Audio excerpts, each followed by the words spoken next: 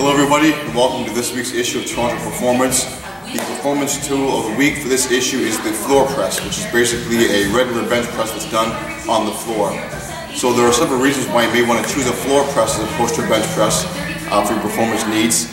And some of the reasons are going to be as follows. Number one, uh, when you're on the floor, you can have either legs long or a legs short position. So when the legs are long lying on the floor, we have a natural propensity to sort of increase or have a greater uh, anterior tilt of forward tilt of the pelvis.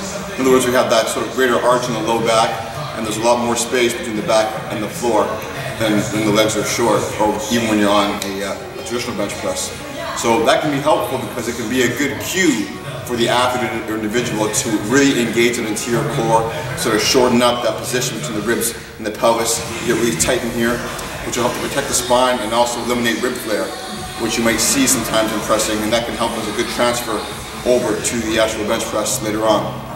Also, when the floor press and legs are short, it can be a really effective means of teaching athletes, individuals, how to use the floor to produce upper body force. So when you're on the ground in the floor press, you perform a hip extension action or a, glute bridge action that helps you to, to push the weight up. And a lot of coaches don't like the bench press performance. They think that, uh, you know, it's useless unless you have a sport where an athlete's going to be on their back.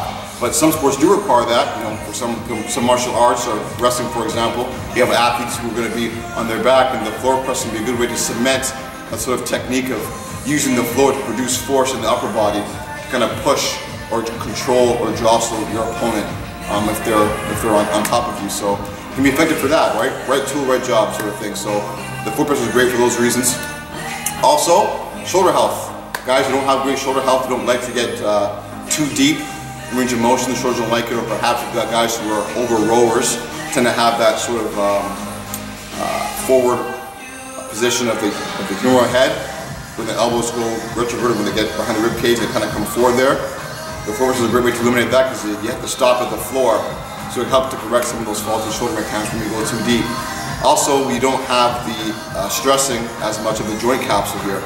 Uh, there's a lot of argument with the bench press that when you teach it as a touch and go lift, so to the chest and off, that uh, the shoulder capsule, the joint capsule sort of stretches and it, there's a lot of sort of long-term overuse damage that can occur because of that. With the floor press, you don't have to worry about that. You just go to the floor, can't get too deep once again, and you, you push up and there's a little bit less stress on the capsule that way.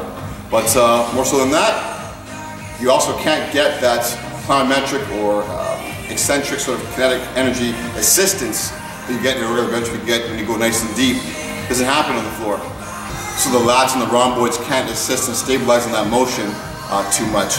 There's a lot more focus on the pressing muscle the triceps, the shoulders, and the, uh, and the pecs. And so it's great to keep tension on those guys and get them to be a little bit more efficient in their press.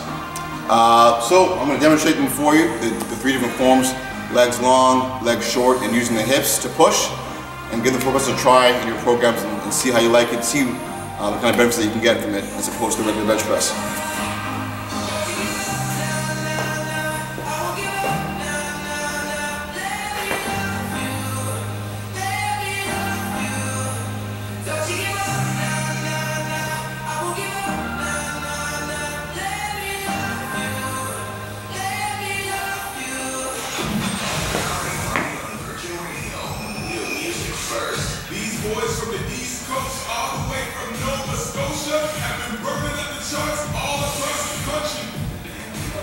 Song is